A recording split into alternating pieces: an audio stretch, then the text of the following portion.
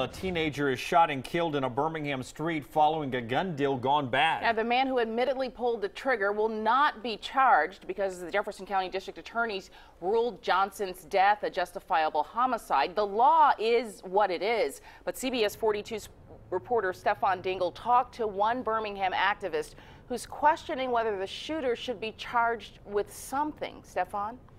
Sherry, this is an open letter sent in by Frank Matthews of the Outcast Voters League. He sent this to the Jefferson County District Attorney's Office asking many questions about this case. Now, among them, why selling a gun to a minor is not a punishable offense. Now, as we've reported, Isaiah Johnson and the shooter connected on social media before he bought the gun.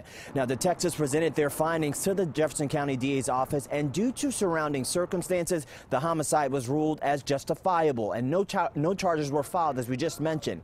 Now, activist Frank Matthews, who wrote the open letter to the Jefferson County DA Pro Tem Danny Carr, praises the DA's office fight to curb gun violence, but questions the outcome of this particular investigation. Now, we uh, he asks in part if there could be charges for attempting to sell guns to a minor. Perhaps warrants could be served and a criminal investigation. He says he don't know he doesn't know why the law get what the law he doesn't know what the law gives you the ability to do, but he begs that they do more. Now, again, no charges have been filed in this case. We did reach out to DA Pro Tem uh, Danny Carr, but he was not available. We will follow up on this case to get answers. We're live on the deck tonight. Stefan Diggle, CBS 42 News.